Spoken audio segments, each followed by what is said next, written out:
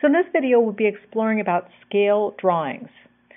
So a scale drawing is kind of like a you know a map or something where it's the it actually represents something that's physical and it's either larger or smaller, usually smaller um, than the actual. Well, a scale drawing would be smaller than the actual um, image or real item. And so they often use scale drawings for like blueprints of houses. So here's an example here of a scale drawing um, at the right that shows the first floor of a house.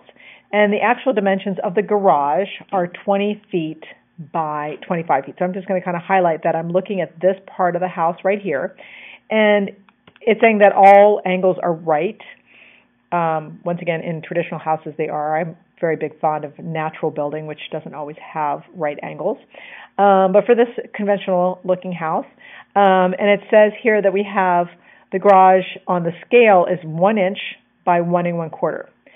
And it's already told us that the actual size is 20 by 25 feet, and it's saying, okay, so how many feet does one inch represent? Well, what I'd like to do is I'd look at this garage and go, okay, I know it's 20 by 25, so the shorter side, one inch, must be the 20 feet, and this longer side is the 25 feet. And so, what is the scale? 20 feet is represented by one inch on this scale drawing. Now, the next part goes into like what are the lengths, what are the length and width of the living room? Okay, so now I'm looking at the living room on this scale drawing. So I can see that I have uh, two inches, and then this piece here, it's the same as that. So it's two inches by one and one quarter inch. But of course, we really want to know what's happening in reality, which is like how big is the living room. Not so exciting to have a two by one and a quarter inch living room, unless you're like a flea or something. So, what are the actual length and width of the living room?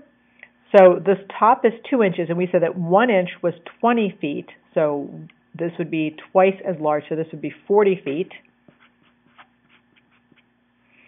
by, and we said that the other one was the same length as the garage, so that was 25 feet.